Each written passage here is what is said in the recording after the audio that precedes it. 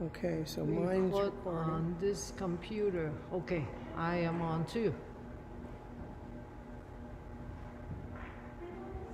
Okay, so whenever you want to start, yeah, it's already done, so.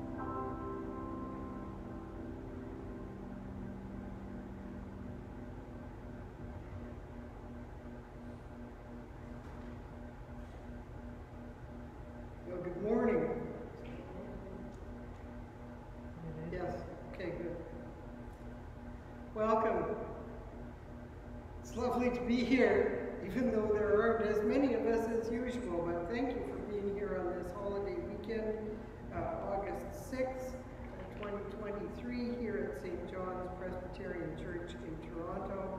And uh, for anybody watching later online who doesn't know me, I'm the Reverend Owen Walter, I'm the minister of the church. We're thrilled to have with us Mrs. Grace Hahn, our music director, and some of our members will participate in the service. For thousands of years, this land has been the traditional home of the Huron-Wendat, the Seneca, and most recently the Mississaugas of the Credit River. It's still home to Indigenous people from across Turtle Island. We're grateful to live, work, and worship on this land. Our call to worship is printed in the bulletin. The Lord is my strength and my shield. In whom my heart trusts. So I am helped, and my heart exults. And with my song I give thanks to the Lord. Let us worship God. We'll open by singing hymn number 411, Stand Up and Bless the Lord.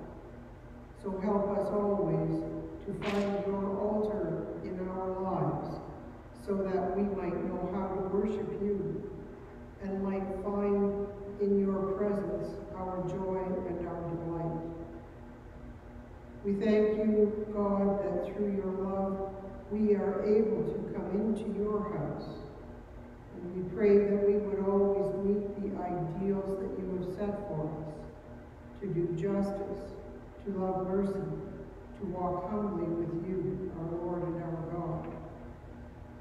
But wherever we have failed for whatever reason, we pray that you would help us to learn from our errors, to survive our difficult challenges, to find a way to grow through whatever we meet in life. And we pray that we might join together to find a source of strength in our community, that we might help one another on our journey of spirit through life, and that we might atone for whatever we can, help wherever we find the opportunity, and share your love wherever we are able, so that this world might come closer to reflection of you. All these things we pray in the name of our Lord and Savior, Jesus Christ. Amen. And be assured that in the love and mercy of God, we are a forgiven people. This day is a new day, a fresh start for each one of us. Amen. We're going to read responsively and not sing any responses, just read Psalm 145, starting at verse 8, going through to uh, verse 21.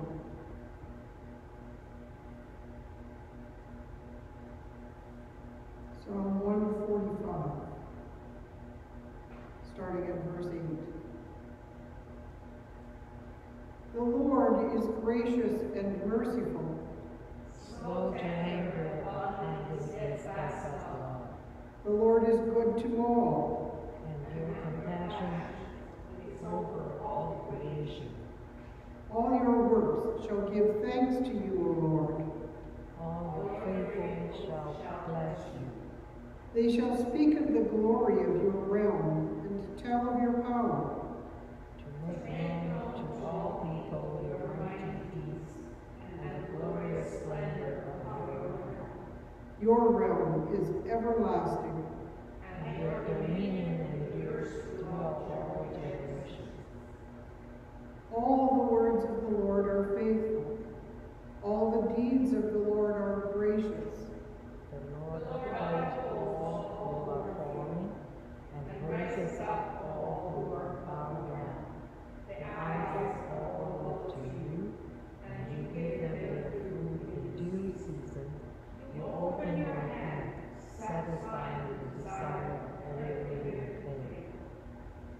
All the ways of the Lord are just. All the doings of the Lord are kind. The Lord is near to all who call, to all who call on the Lord in truth. The Lord fulfills the desires of all who show repentance, and hears their cry and saves them. All who love the Lord, the Lord preserves. All the wicked, the Lord will destroy. My mouth will speak the praise of the Lord, and all flesh will bless God's holy name forever and ever. Amen. Phyllis Anderson is going to read our Old Testament lesson for us.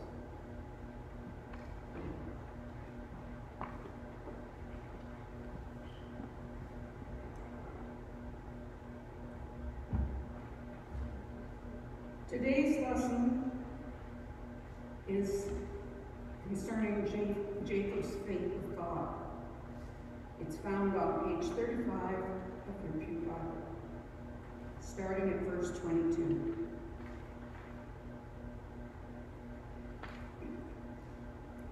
That night, Jacob got up and took his two wives and his two maidservants and his eleven sons and crossed the ford of the Jabbok. After he had sent them across the stream, he sent over all his possessions. So Jacob was left alone, and a man wrestled with him till daybreak.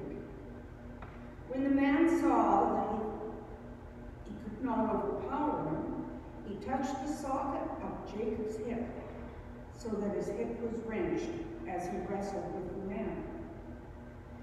Then the man said, Let me go, for it is daybreak. But Jacob replied, I will not let you go unless you bless me. Jacob, he answered. Then the man said, Your name will no longer be Jacob, but Israel, because you have struggled with God and with men and have overcome. Jacob said, Please tell me your name. But he replied, Why do you ask my name? He blessed him there. So Jacob called the place Peniel, saying, It is because I saw God face to face, and yet my life was spared. The sun rose above him as he passed Peniel, and he was limping because of his ill. The end of the lesson.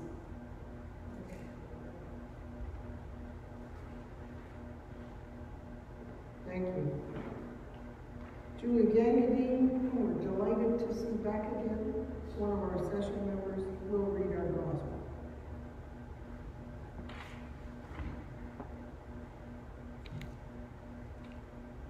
Good morning, everyone.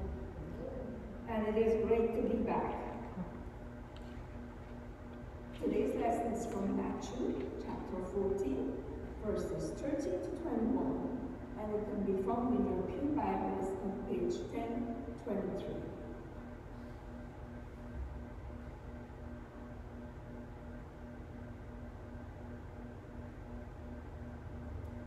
When Jesus heard what had happened, he withdrew by boat privately to a solitary place.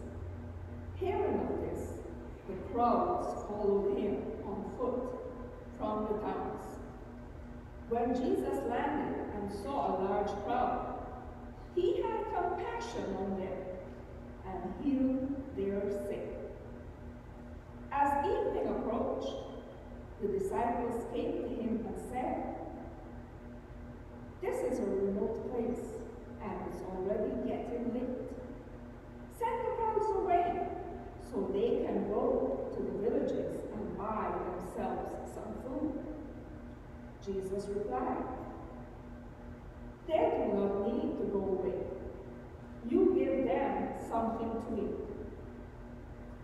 We have only five loaves of bread and two fish, they answered.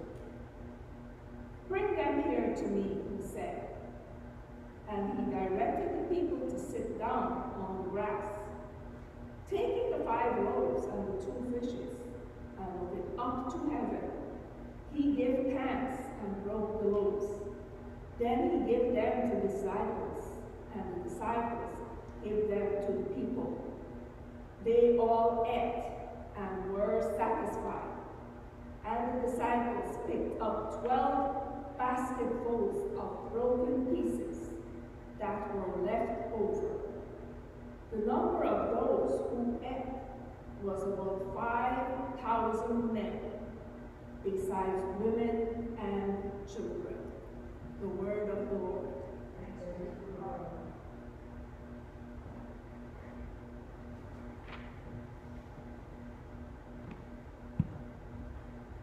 We're going to sing hymn number four eighty-four.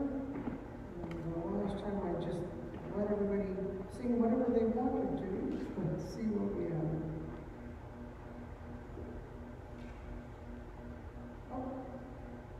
We only have two verses in Four eighty-four, the church is wherever God's people.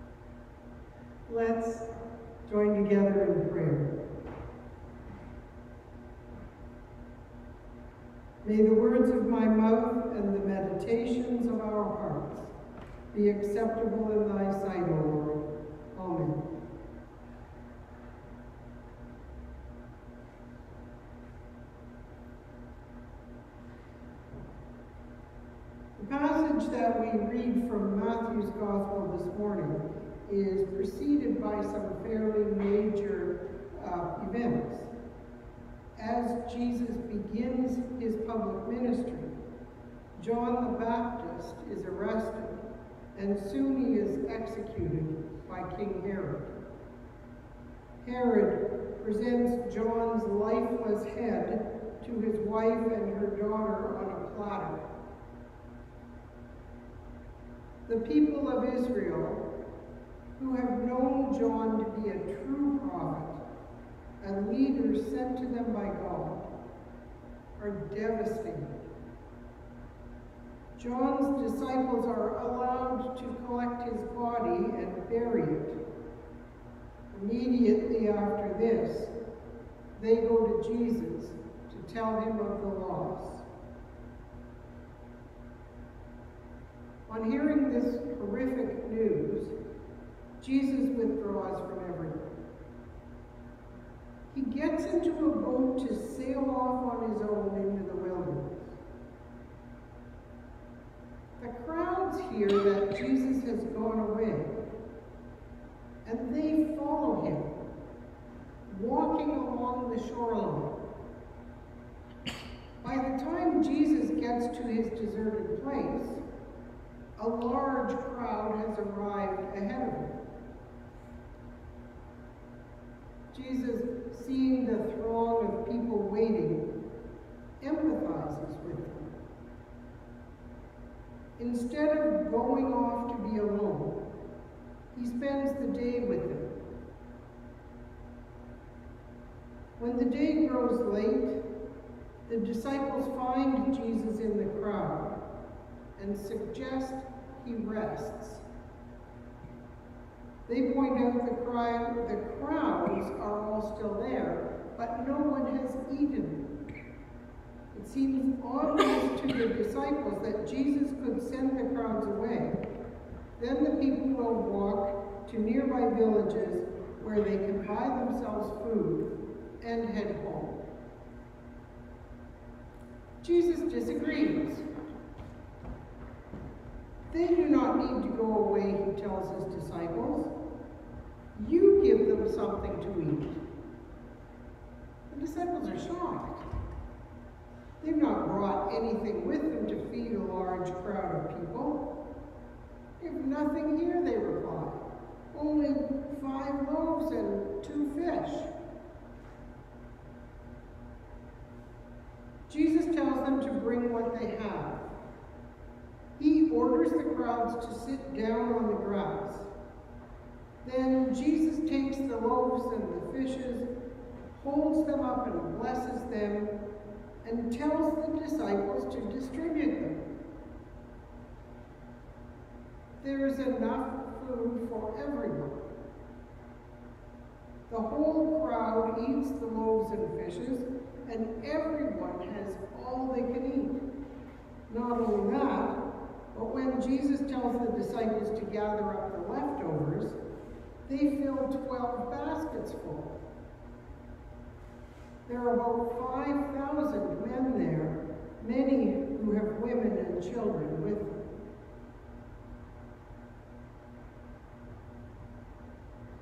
Jesus saw the crowds and saw what was needed. With John the Baptist's death, the people were grieving, milling around, wondering what to do next. They looked to Jesus for assistance. Despite his own sorrow, he responded to the people, healing the sick and feeding them all. He shared God's love with the people. The biblical account tells us Jesus acts from compassion. When we are in a state of compassion, we show awareness of what is necessary. We respond to what is going on around us. There are two components to compassion. We have to be able to receive help when we need it, and we have to be able to give help to those we know and those we meet. It's a feeling which leads us into action. The people of Israel were saddened and shocked by John's death. They had found a new direction under John's leadership, and now they were floundering without any idea of how to proceed. Jesus helps to encourage them, encourage them to continue on the path they had begun, to follow, to repent, and to seek God. The people, and even Jesus himself, had been baptized by John. They'd all started a new way of life. Now, with John's death, the question becomes what's next? Jesus, aware of the moment of fear the people experience, acts from compassion. He takes care of them until it is time for him to tell them to go. Only after he has fed them does he dismiss them, and finally climbs to the mountaintop to pray alone. The disciples weren't wrong. It was very probable that had Jesus dismissed the crowds before they ate, they would have found some food somewhere on the road nearby and made their way home. But their need for understanding was still evident. Seating them all and feeding everyone attends to their physical needs, but more importantly, to their emotional need for souls, love, and care. Jesus recognized their need. When they had been fed, the people were ready to go back to their lives, and Jesus was then able to attend to his own needs. We strive to emulate Jesus. We recognize the needs of others and our own need. In compassion, we help each other. At some point in life, every person comes to the point where they are the ones in need of compassion. I speak from experience. Whether coping with illness, death, or loss, I've often found myself in a place of need. I've always found there are those nearby who surprise me with their care and compassion. For example, people looked after me when I was sick. They took me where I needed to go when I couldn't take myself. Being on the receiving end of compassion is a humbling experience. We learn none of us gets through this life alone and without help. We need each other. Experiencing the care and concern of others when we're in need helps us to become more aware of the needs of others. I've told you before, probably more than once, because I do tend to repeat myself from time to time. I have a friend who showed unending love and care to his stepson, who suffered from an incurable illness. When this man and I talked about his life, he told me of the severe injury he'd gone through as a child that left him without the use of one of his arms.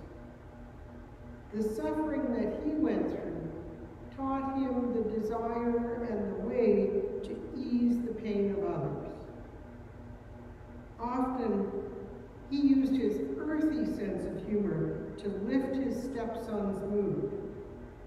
Someone once took him to task telling the young man an off-color joke. But the joke made his son laugh, and that was the whole point of it.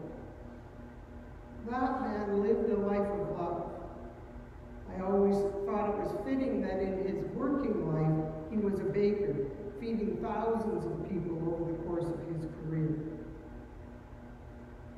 To act with compassion means that we bring our feelings into our daily lives and into our actions. We connect to our actions and our choices in our hearts. It's a different experience to act from passion than it is from duty. When we're compassionate, it means we care about what we're doing, as well as for the needs of others. We aren't merely doing a job, we're making a difference.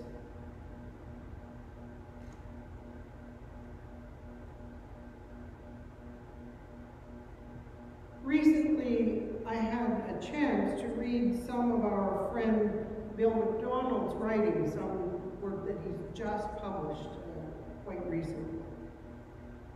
He quotes the Canadian architect Raymond Moriyama. Moriyama's grandfather urged him as he was growing up to strive for the perfection of the moon when he worked.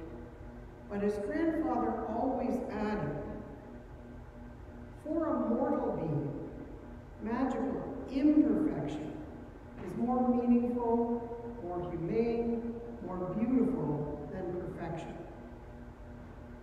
This idea shares the difference between doing a job and acting from compassion, acting from our feeling, from our hearts. When we act from love, we strive not for perfection, but for heart, for what is humane and beautiful. We take action from our feelings for love. This is true whether we're designing a building to meet human needs, baking a loaf bread for those who are hungry, or as Jesus did, healing the sick and helping people cope with the loss of a leader. To act with compassion means to become more aware.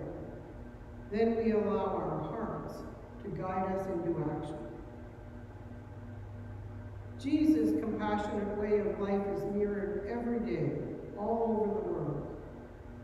We need it now more than ever. In a world plagued by harshness, the need for compassion remains strong.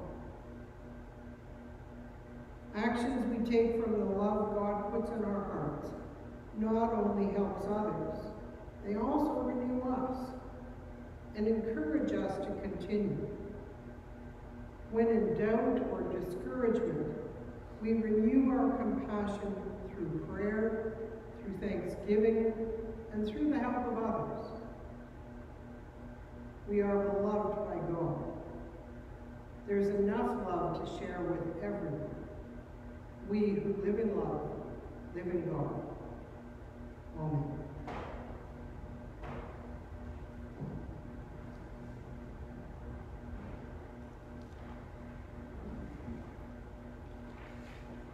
We're going to sing hymn number 569.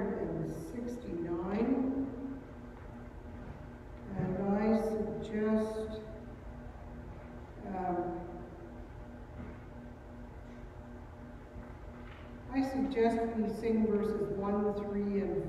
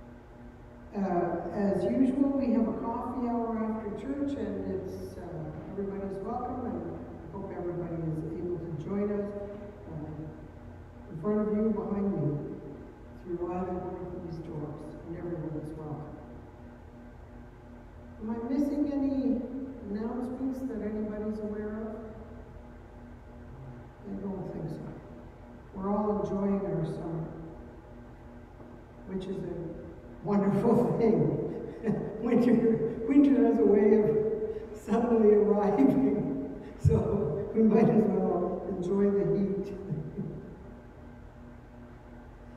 Let us then join in our prayers together. Let us pray. Lord our God, we thank you for the gifts that we have been given in this life. We thank you for those things which we have, which we are able to share.